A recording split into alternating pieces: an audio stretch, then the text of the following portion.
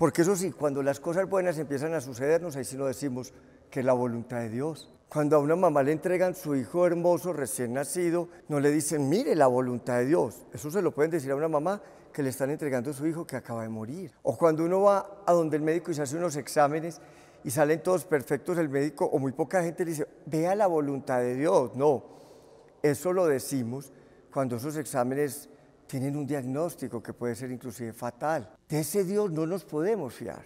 De ese Dios que está por allá en las alturas, como lo han mostrado, asomándose así a ver qué calamidad le manda al ser humano para ponerlo a prueba, para probar su amor, a ver si nosotros sí lo amamos en medio de la tragedia. Y si ese es nuestro Dios, pues antes ese Dios produce miedo, ese Dios nos espanta, ese Dios nos angustia, ese Dios ha hecho que muchos se hayan alejado inclusive del camino espiritual, porque es un Dios que le pone zancadilla o lastima al ser humano. Pues bien, ese no es el Dios. Un Dios que no hace sino cosas malas. No es el Dios que nos revela Jesús.